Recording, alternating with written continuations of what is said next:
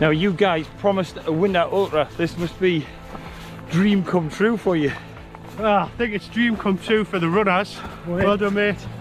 Dream come true for the runners. Frozen ground, clear skies.